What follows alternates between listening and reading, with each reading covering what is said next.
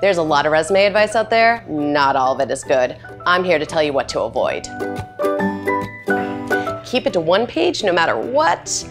Actually, you do not have to fit 15 years of experience on one sheet of paper. As your experience grows, so does the length of your resume. However, you still want to keep it at that two page maximum. Hide the gaps in your experience. Actually, recruiters will see right through that. So instead, show them what you've been doing between jobs that's relevant to your career.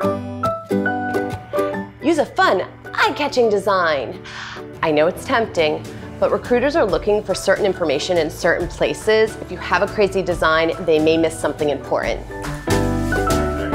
Send your stock resume out everywhere. No, don't do that. Instead, customize your resume based upon the requirements of a specific job.